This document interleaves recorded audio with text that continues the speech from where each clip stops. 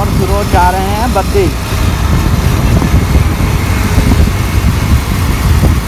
फिरोज अपनी बाइक पे और मैं अपनी बाइक पे हम जा रहे हैं आज बद्दी आज छुट्टी ईद है और हम जा रहे हैं रोड में हम जा रहे हैं गाइस बद्दी मैं और फिरोज।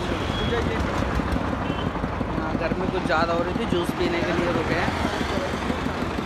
और ये फिरोज की बाइक खड़ी है।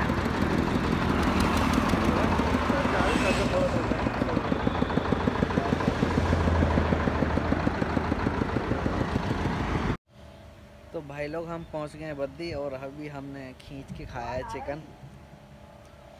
गर्मी कुछ ज़्यादा हो रही है, हम आए हुए हैं अपने चंदे चाचा के पास और ये हमारी खड़ी हैं बाइकें। और अभी हम खा पी के इंजॉयमेंट कर रहे हैं और आज ईद है, आप लोगों को ईद मुबारक हो। तो ये हमारे बैठे हुए हैं चंदे चाचा। और इधर ये रहा अरमान। कोई बात नहीं, बने रही अभी दिखाएँगे आपको न्यू न्यू कंटेंट यहाँ से निकलते हुए। हमने अभी चिकन खाया है, डेढ़ किलो, दोबारा फिर फ्राई करेंगे। चंडीगढ़ से हम झूठ बोल के आ गए हैं चाचा को, दस मिनट, दस पंद्रह मिनट के लिए बोल के आए थे हम। कम से कम घंटे हो गए हैं, दो। कोई बात नहीं बने रही हमारे साथ। हम जा रहे हैं वापस। लेट हो गए हैं काफ़ी। पर कोई बात नहीं। आपको दिखाते हैं डेंजर एक्सीडेंट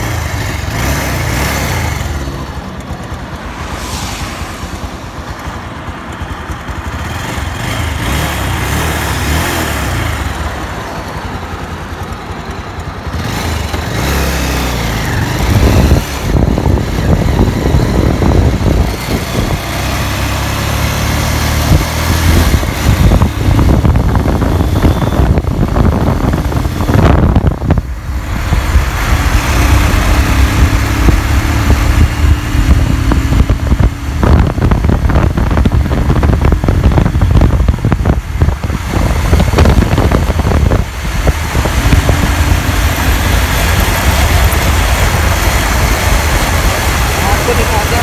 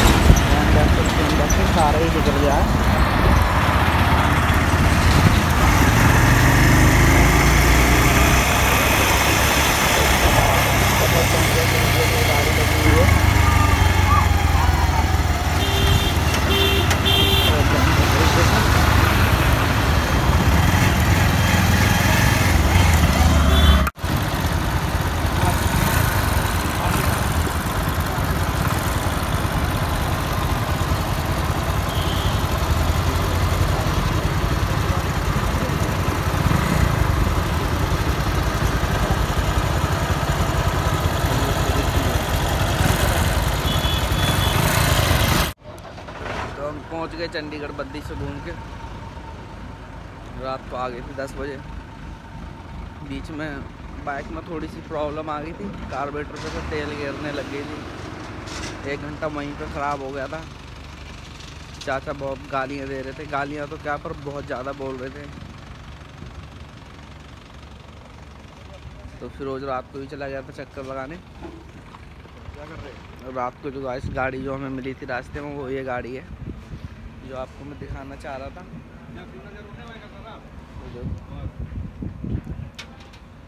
कितनी डेंजर तरीके से लगी हुई है।